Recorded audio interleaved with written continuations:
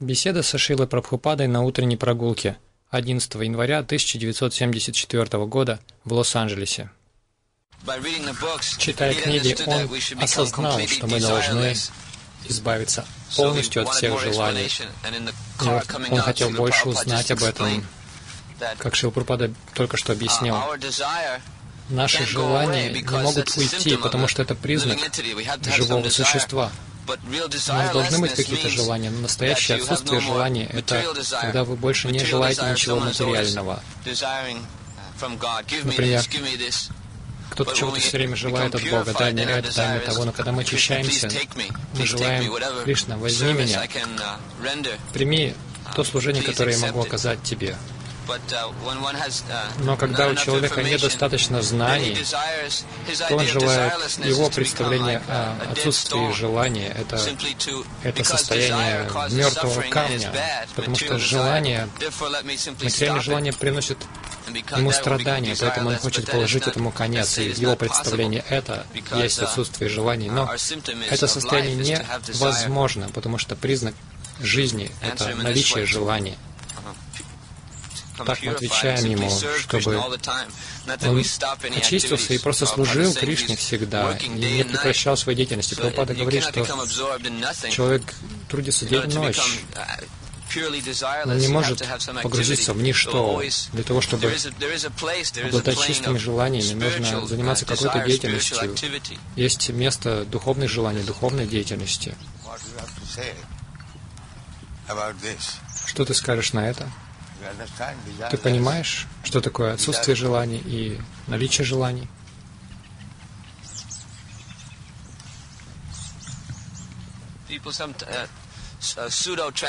Так называемые трансценденталисты иногда нас критикуют. Они говорят, преданные Хари Кришна слишком активны. Они думают, что мы действуем ради плодов, все время носимся, пытаемся продавать свои книги, всегда очень активны. Они, потому что они не понимают, что такое отсутствие желаний. И они говорят так, а потом они начинают курить, критикуя нас. Они говорят, вы не должны ничего делать, если вы трансцендентны. Почему вы, вы так тяжело трудитесь? И затем они демонстрируют, что у них у самих есть наличие грубых желаний. Обрыв записи. И поэтому, когда они видят, когда они слышат это описание Кришны, у которого есть отец, мать, друзья, они думают, что это такое? Мать, отец, друзья есть и у нас здесь. Как же это может принести освобождение? Они не могут понять. Их разум так узок. Поэтому они говорят, что это тоже майя. Когда мы думаем, что Кришна Всевышний у него есть родители, друзья, он играет. Это тоже майя, поэтому их называют майя-вади. Они не могут уяснить, что в духовном мире есть все то же самое, но положение иное. Это абсолютный мир, где отсутствуют какие-либо обозначения. Шейла Прабхупада. Сегодня утром вы также говорили о том, что мы должны стараться любить только Кришну и ничто другое. Но если мы любим своих духовных братьев, это тоже любовь к Кришне? О, да. Потому что все они от Кришны. Кто такие твои духовные братья? Они слуги Кришны. Если вы не любите своих духовных братьев, это означает, что вы отвергаете часть Кришны. И наши дети тоже. Да, если вы любите детей, если вы стараетесь дать им сознание Кришны, то это тоже любовь к Кришне. Кришна хочет Сарвадарман Паритяджа. Если вы помогаете в этом, для чего наше движение существует? Почему я приехал в вашу страну? Для того, чтобы сделать вас сознающими Кришну. Это любовь к Кришне. В противном случае, зачем мне было приезжать сюда? У меня здесь нет никаких дел. Поскольку я люблю Кришну, я хочу видеть, чтобы все в мире сознавали Кришну. В противном случае, зачем в старости я иду на эти усилия. Точно так же, если вы любите своих детей, если вы хотите, чтобы они сознавали Кришну, пусть у вас будет сотни детей, пусть они сознают Кришну. Это любовь к Кришне. Если же вы воспитываете их как кошек и собак, то даже Рождение даже одного ребенка – это тоже грех. Это тоже грех. Но если вы можете дать им сознание Кришны, то пусть у вас будут сотни детей. Это любовь к Кришне. Бхагаватам говорит,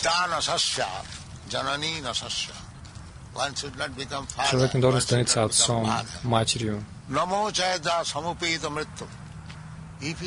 Если он не способен спасти детей от неизбежных лап смерти, таково условие. Смерти не избежать, если человек не сознает Кришну. Если вы не способны сделать своих детей сознающими Кришну и не положить конец их смерти, рождению, то не становитесь отцом. Таково предписание. Если вы действительно можете это сделать, то станьте отцом сотен детей. Такое условие. Если вы не можете, если вы можете, то это любовь к Кришне, потому что если вы не любите Кришну, то зачем вам интересоваться, зачем вам стараться сделать других сознающими Кришну? Пусть они катятся в ад. Зачем вам идти на этот тяжелый труд, чтобы дать им сознание Кришны, если вы не любите Кришну? Это признак любви. Я люблю Кришну. Но я ничего для Кришны не делаю. Это нонсенс. Поэтому я сказал, что брат нашего Гуру Махараджа критикует Гуру, Гуру Махараджа, но что он сделал для Кришны и что мой Гуру Махарадж сделал. Если бы Гуру Махарадж не воспитал меня, как бы могло распространиться это движение сознания Кришны по всему миру? А что он сделал? Одна критика не дает никакого проку. Мы хотим увидеть практический результат. Вы понимаете или нет? У тебя же те же возможности. Прабхупада, мой Гуру Махарадж, находился в Майпуре, а у тебя есть место рождения Бхактивинода Такура. Что ты сделал? До сих пор там джунгли. А что в Майпуре? Все американцы строят там величественное здание. Поэтому, если просто вы критикуете, это еще не делает вас сокровенным преданным. Где ваши действия? Что вы сделали? Вот что необходимо. Полено поречетая. Обрыв записи. Если Кришна не даст возможности, никто не способен служить Кришне. Но Он дает возможность соответствующему, подходящему человеку. И так везде. Если вы хотите стать менеджером фирмы, то владелец фирмы должен удостовериться, что вы способны на это. Тогда он дает вам возможность. Хорошо. Это взаимно. Например, сегодня мы изучали шлоку, где говорится, что Кришна стал Сарадхи. Разве Кришна стал Сарадхи негодяя или глупца? Он стал Сарадхи Арджуны. Это нужно учитывать. Если мы не обладаем никакой квалификацией, Кришна, стань моим Сарадхи. Кришна не дешевка. Прежде всего, обратите достойные качества. Сначала заслужите, потом желайте. Сначала заслужите, потом желайте. Итак, как человек, сознающий Кришну, может быть свободен от всех желаний? Все начинается с желания. Я желаю служить Кришне. Это начало. И тогда Кришна даст вам возможность по вашим заслугам. Так это делается. И этому есть объяснение. Аня Билашита Шуньям. Когда вы полностью избавляетесь от желаний ко всему материальному, то с этого момента начинается бхакти. Вот что значит отсутствие желания. Это когда вы свободны от любых желаний, кроме желания служить Кришне. Это отсутствие желаний. Отсутствие желаний — это не желание ничего материального. Вот что значит отсутствие желаний. Философия Майявади гласит, все есть майя, поэтому Кришна майя. Это майявади. Они не знают о различии между майей и реальностью. Для них все майя. Поэтому их называют майявади. И Кришна для них тоже митья. Такова их философия. Поэтому в Бхагаватам вначале говорится «Парам сатьям димаги». Сатьям, не митья. Митью вы можете отвергнуть. Но до тех пор, пока вы не отыщете Парам Сатьям, однако они не знают, что такое Сатьям, Парам Сатьям. Поэтому Бхагаватам говорит,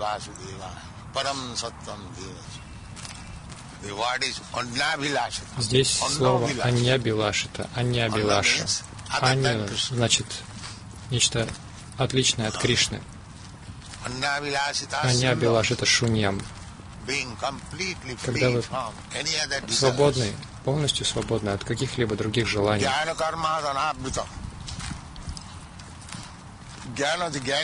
Гьяном, гьяни также желают освобождения. У гьяни тоже есть желания. Как они, их можно назвать свободными от желаний? Ведь они стремятся к мукти. Йоги стремятся к ситхи, карме, желают лучших условий жизни. От всего этого следует полностью освободиться, и тогда это отсутствие желания. Если же вы желаете мукти, то разве это отсутствие желания? Видите, как они обманывают? Они хотят стать муктой, и тем не менее они говорят о отсутствии желания. Но это же ваше желание. Видите несовершенство?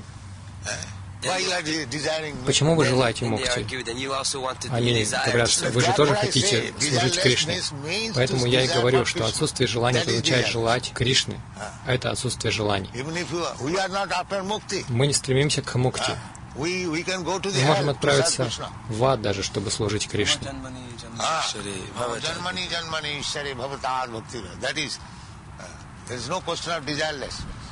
А не желание, и речи не может быть. Мы желаем Кришну, и это отсутствие желаний. Это как больной человек. Если он желает хорошей, здоровой жизни, то разве это плохо? Вот желать болеть дальше, это плохо. Поэтому я говорю, вы не можете отказаться от желания. Это невозможно. Вы должны очистить свои желания.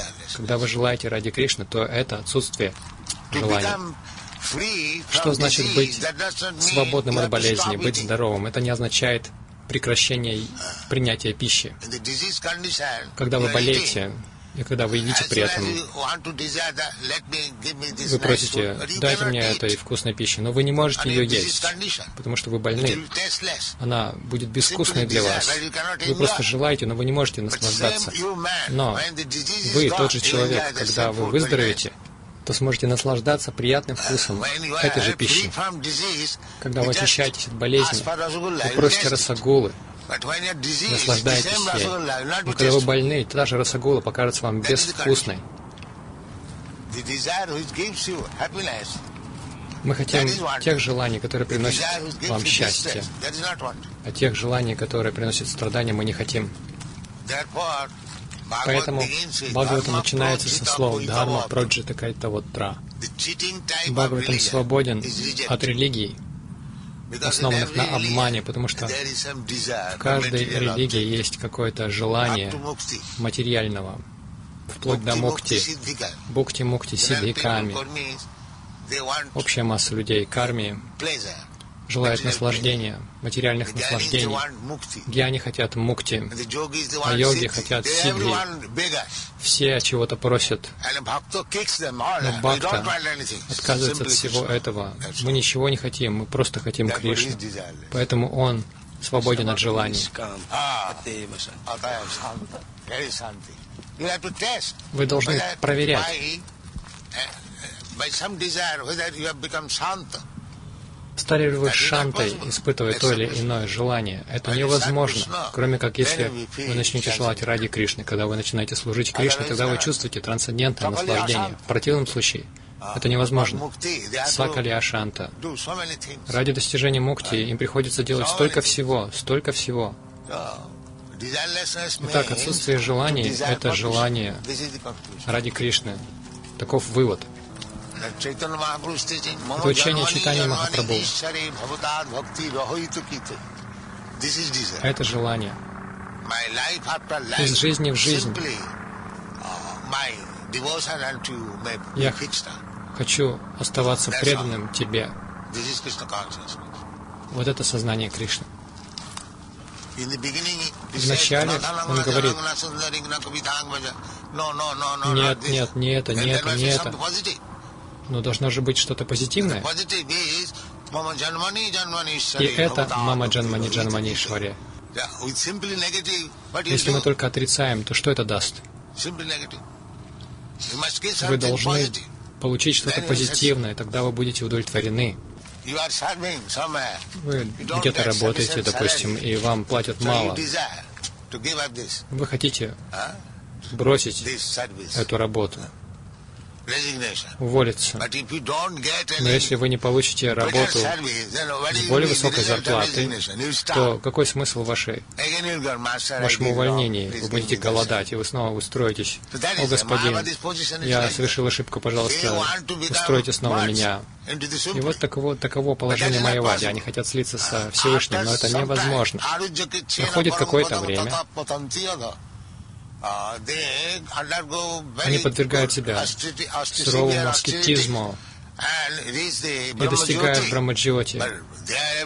Но там пустота. Они не могут там оставаться. И у них нет знания о Кришне, поэтому им приходится возвращаться. Патанти Адхау. Он желает наслаждения, но там наслаждения нет. Он думает только, я браман. Но какое в этом наслаждение? Вы считаете себя каким-то браманом. Да, вы уже браман. Это они летают на спутниках, спутник Валы. Они поднимаются очень высоко. И снова спускаются. Вы ведь так высоко поднялись, зачем вернулись? Но там нет прибежища, они там не могут найти прибежище, им приходится возвращаться. Точно так же отсутствие желаний. не предполагает прибежище. Вы должны прийти снова к материальным желаниям, вернуться к ним. В Брахма Самхите говорится, что они могут достигать скорости ума.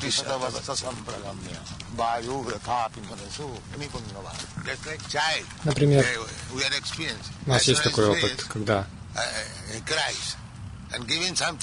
Ребенок начинает плакать, вы даете ему что-то, он успокаивается сразу же. Должно быть что-то позитивное. Если вы только отнимаете, ничего не давая, то это не принесет удовлетворения. Он снова заплачет. О, мне нечего делать. Таково положение Майявади. Карми, йоги, гьяни, все они глупцы. Поэтому Кришна говорит, Сарва Дхарман Паритяджа, негодяй, оставь все эти попытки карми, йоги, гьяни, сидхи, выбрось все это, мама кам шаранам враджа. Такое наставление он дает. Только мне. Тогда ты будешь удовлетворен. Карми могут сказать, поскольку они не знают, они думают, что как это можно не работать. Они удивляются, как эти люди не работают, и они счастливы. Они не могут себе представить, что без тяжелого труда человек может есть, спать. Когда они видят, что наши преданные не работают, и они никому не служат, как это возможно? Они не могут себе представить. Они не могут представить этого. Но это возможно. Поэтому, когда Кришна говорит, карми, гьяни, они думают, как же я буду жить, если я, если я стану преданным Кришны, как же мне, как же мне выжить? Поэтому Кришна уверяет, Ахам Твам Сарва Папипьо, я защищу тебя. Это сознание Кришны. Прежде всего, предайся мне, и тогда я дам тебе все, что ты хочешь. Кармы всегда переживают. Карандаш. Мы заключили контракт на покупку земли в Бомбее без денег. Тогда не было никаких денег, когда я подписал этот контракт. Откуда деньги взялись? От Кришны. И не одна, не две рупии. Миллион восемьсот тысяч рупий. А когда я подписывал контракт, у меня не было даже тысячи восемьсот. Нужно просто было добавить ноль с правой стороны. Когда вы подписывали контракт, это когда Мададвиша с вами отправился в Австралию, он не хотел оставаться в Бомбее. Нет, я спросил его, ты можешь позаботиться об этом месте? Он отказался, нет, не могу. Знаешь об этом? Да, я слышал. Затем Брамананда заверил меня, я позабочусь. Поэтому я подписал. Но на практике он оказался не лучшим от Двиши. Он заключил контракт на обустройство лагеря за 40 тысяч рупий. Я же договорился за 10 тысяч. Так, мы работаем в Индии, тратим деньги, но из американцев 50% мы теряем, несем убытки. Что можно поделать? Они обманывают на каждом шагу, как, например, случай с этим лагерем. Брамананда с Мадудвишей вместе они подписали контракт на 40 тысяч рупий. И тогда я сказал, я не собираюсь платить столько денег. И на Кумбамеле тоже. Они подписали контракт на 10 тысяч. 5 тысяч уже заплатили. Я сказал, у меня нет денег. Вы должны довольствоваться этими деньгами, которые вам выплатили. И они начали беспокоиться. Но потом они согласились, потому что они получают 100% прибыли. Как только они видят американца, цена в два раза вырастает. В два раза? Нет, 500 раз. Как только они видят американца, значит, у них деньги есть. То же самое на рынке, когда ходишь за покупками. Очень дешево, они говорят. Очень дешево, бабу. Знаете эту историю?